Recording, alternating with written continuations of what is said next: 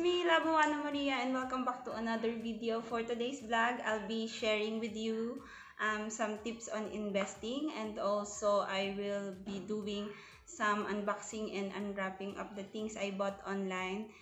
Siyempre, yung mga binili ko is for business din, for business purpose.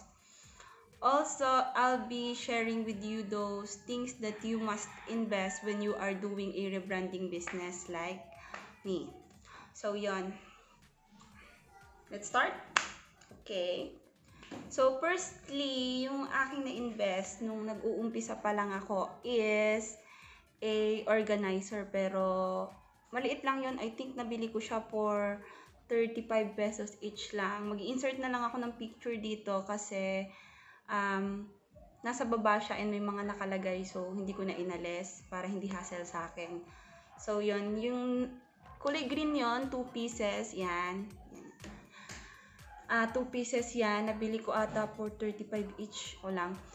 And, so yan yung pinakauna kong nabili. Dahil, wala pa naman akong pera nun. And, gaya nung lagi kong sinasabi, o gaya nung mga nabanggit ko sa previous vlog, nag-start, nag-start lang ako sa 1,650 pesos. So, napakaliit lang nun para mag-invest agad ako dun sa mga uh, things na kailangan mo talagang i-invest. So, pag meron kang spare na money, pwede kang bumili ng things na tingin mo is kakailanganin. So, magagamit mo, ganun.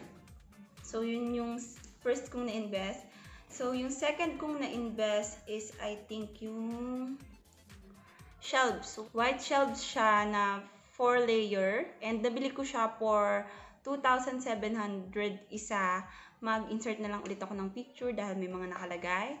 Pero parang nakatipid ako ng 300 pesos kasi dalawa yung binili ko. So, isa na lang yung bayad sa shipping. Before kasi lumuluwas pa ako. Talaga ako personally yung namimili ng mga stocks ko. And pinapa-deliver ko dun kay na sa ate ko sa Baklaran. Tapos, iuwi ko na lang dito sa Tagaytay. But, uh, kaya ako nakamura kasi dalawa yung binili kong shelf pero uh, isa na lang yung shipping. COD kasi pumapayag sila ng COD. Yung, so, sunod kong na-invest is yung printer, L120 na Epson.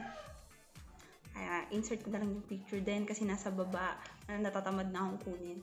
At napaka-bulky kung kukunin ko. So, yon I think it's 4,995 pesos siya. Pero nasa 6,000 yung binayaran ko kasi bumili ako ng spare na ink sa 4 pieces na spare na ink is around I think 200 to 300 pesos yung range ng isang ink. Nagbili na ako ng spare. So yon, nauna kong i-invest yung printer kasi before yung laptop yung kuya, ni kuya, yung asawa ng ate ko is nandun sa Manila. And nag-ask ako kung pwede ko ba siyang hiramin since hindi naman nagagamit ni kuya. Tas, and then sabi niya, sige daw, pwede ko naman daw gamitin kung gusto ko. So, yun, ginamit ko yon printer. Ay, printer. Ginamit ko yung laptop, kaya mas nauna akong bumili ng printer. And then, nung umuwi naman si kuya, sakto kailangan niya na yung laptop kasi nagamit niya for repair. Um, So, wala na akong gagamitin ngayon. Da, before, napapaprint lang ako dun sa pinsan kong teacher kasi syempre siya may printer. Yung next na na-invest ko is yung laptop na Acer na Aspire 3. So, yon Home credit naman yon Syempre, hulugan. Hindi ko naman kayang i-cash agad. Um, nag-down lang ako ng I think 14k. Tapos, papatak siya ng 30,000 pag natapos bayaran. And yon mag-insert na lang din ako ng picture dito para makita nyo. And then, eto na. So, yon guys. Mag-start na ako mag-unbox. So, ito yung uunahin ko. Binili ko siya sa Handyman. And siya, actually, na-open ko na to and nagamit ko na siya. Binali ko lang sa box para um, i-unbox para makita nyo for the vlog. Ganun. Ah, eto. Yan.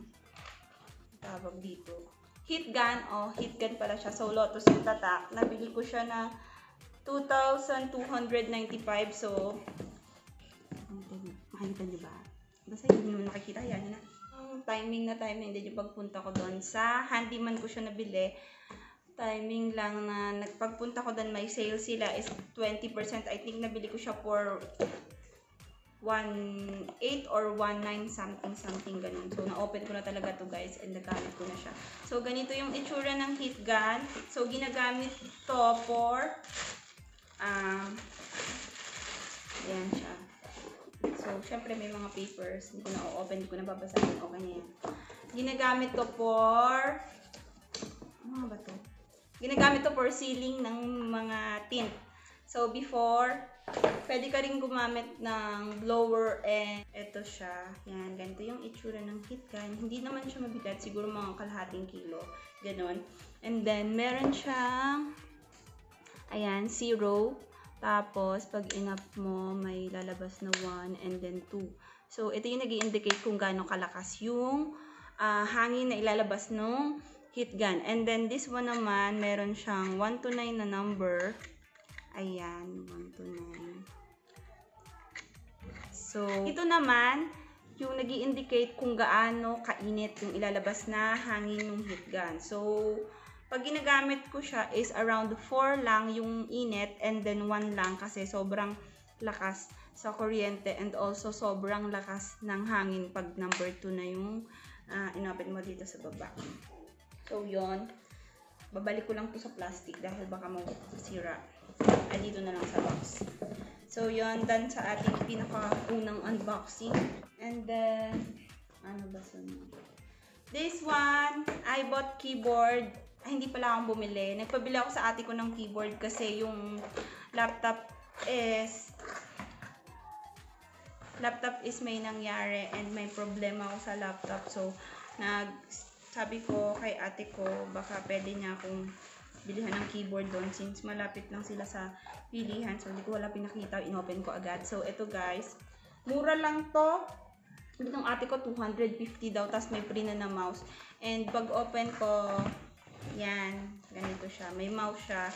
And hindi kagandahan yung quality kasi plastic lang. Pero it's okay lang naman kasi may meron na namang kasamang mouse yung laptop ko. Parang spare lang. Yan, okay lang yan. Palipit na lang. And then this one, yung keyboard niya mismo okay naman.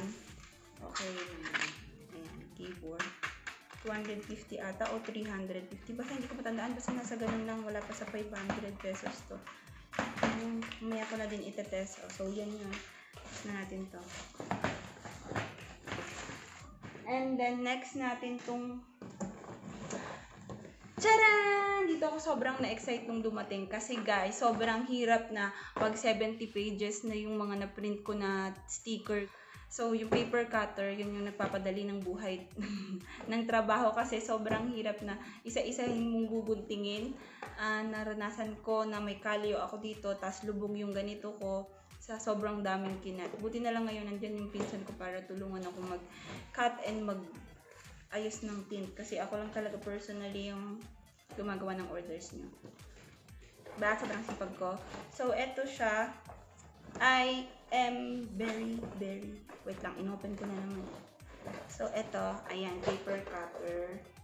I choose the, uh, the metal one, the steel one, kasi mas, I think mas matibay kaysa dun sa usual na nabibili na wood type.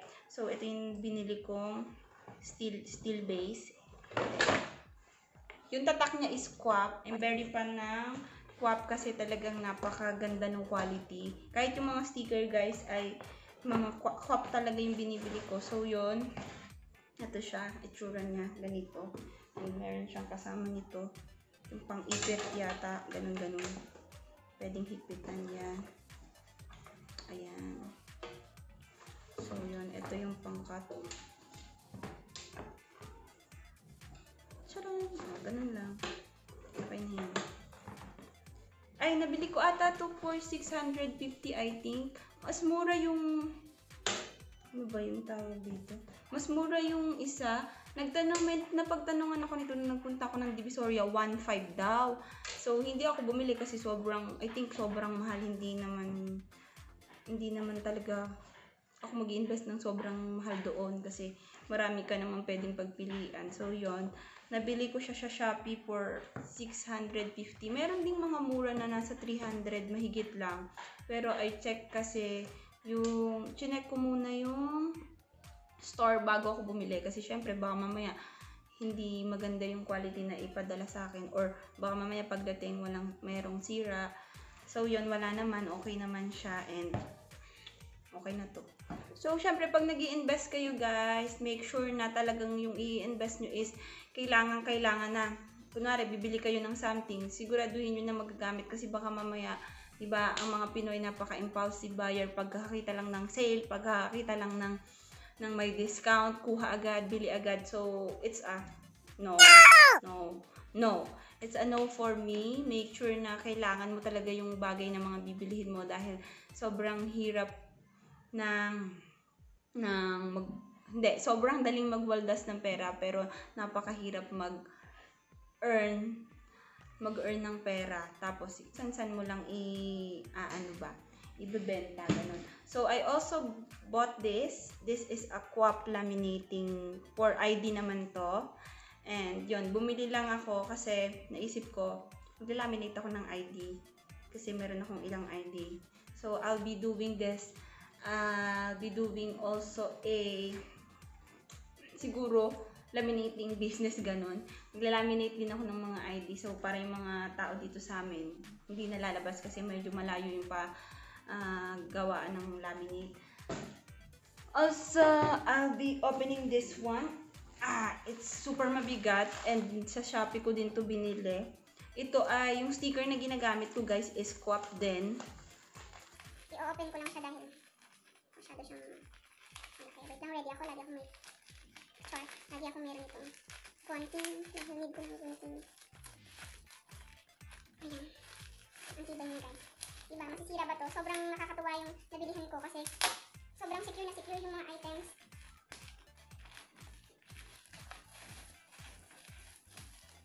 Eh, bigat ah.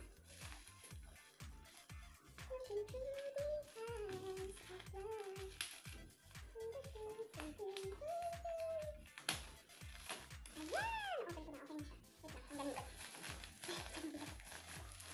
Actually, nagdoble-doble yung order ko kasi nag-order ako before, ah, parang kakasimula lang ng lockdown. Nag-order ako and then hindi siya dumating agad. So, inang ita-cancel ko, pinaship na daw. Dumating siya, one month na yata nakalipas. So, natawa ako kasi, syempre, one month, one month na nakalipas, saka lang siya dumating.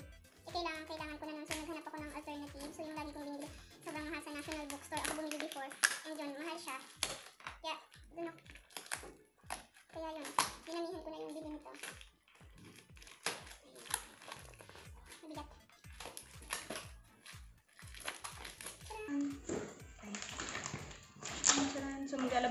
Ng isang piraso kasi sobrang dami niya and nakakapagod i-unbox.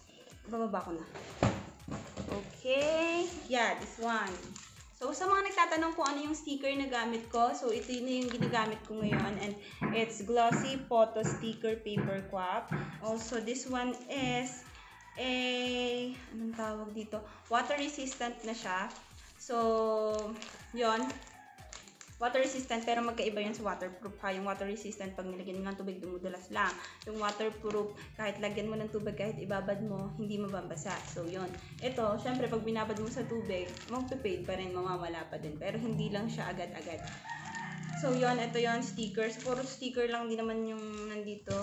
Photo sticker paper na glossy. guys yung yung sticker na gamit ko.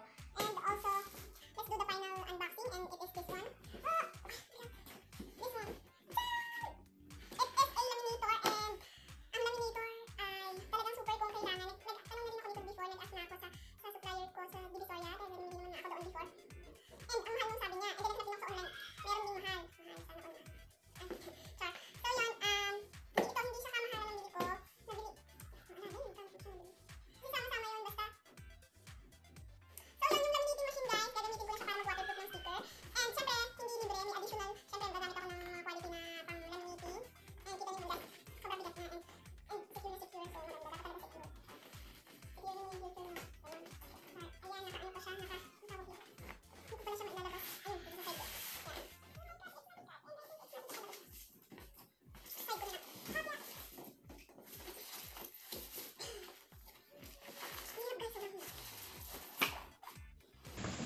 Ate, can you help? Please?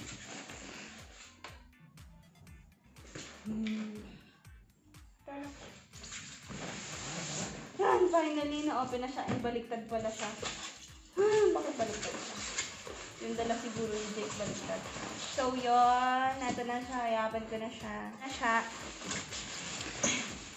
So, yun guys. Ito na siya. Natanggal ko na yung box. And super mabigat. So, yan o. Oh, diba? Secure na secure siya. Hindi talaga siya masisira. So, ito yun. Balot. And then, yung, meron siyang ganito. I think ito yung pang tester kung nagana ba siya o hindi. And then, ganito siya. Ganito yung itsura niya. Aray, mabigat. Mabigat siya. I swear. It's mabigat talaga. Charan! Wait na. Oh my gosh. So, yan. Alam ko may nakita na rin kayo ganito. Pero, ayan yung itsura niya. So, meron dito. may akong ano dito. Ayan. Ayan, para makita nyo ng malinaw. So, this one, meron siyang on and off. Kung cold and run or stop. Or, yung run or stop, pag nilagay nyo siya dito, kasi napanood ko na rin to kasi dati pinapa-waterproof ko rin yung mga stickers ko sa ano pa, sa silang pa. So, napakalayo. Nag, nagbabiyahe ako and I think dalawang sakay pa ako bago makarating doon. Ang dugi sa pamasahe. So, ito yung power. Ito may power siya. And then, syempre, pag walang power, ano nangyayari? Hindi magbubukas. So, yon Ito yung on and off, yung stop, reserve, or forward. Reverse or forward pala. And then, this one, cold or hot. So, nasa sa inyo kung gusto niyo yung cold, kung gusto niyo yung hot. So, yon Ayan siya. So, yun na yun. Final na yun. So, yun guys, these are the things that you must invest but hindi naman necessarily i-invest nyo na agad. Kung wala pa kayong pera, pwede yung unti-untiin. And also, para lang siguro din mapaganda yung quality ng mga stickers and the quality ng mga products nyo. So, yun, pwede din kayong bumili nito. So, yun guys, uh, that's all for this video and nakakapagod mag-unboxing pala. So, first time kong mag-unboxing. And nakakapagod nga. So, yun. So, yun. Thank you for watching this video. And I hope meron kayong mga natutunan konti-konti, ganon, or may natutunan. So, if nagustuhan niyo yung video, please leave a thumbs up. And please don't forget to like and subscribe my channel. Hit that bell button para ma-notify kayo every time na mag-upload ako ng bagong video. And also, guys, sa mga interested na mag-rebranding, please do message us at lip tint and cosmetic rebranding supplier Tagaytay. And also sa mga gusto namang mag um, distributor and reseller we are open. Kaya lang di ko masyadong naaasikaso. Glimpty Skies Cosmetics and Skincare. I'll be um, flashing the picture of our logo sa screen and check it out also lalagay ko rin yung link sa baba so you can message us agad-agad so So, yun guys. Thank you again for watching. Bye-bye! Sangye!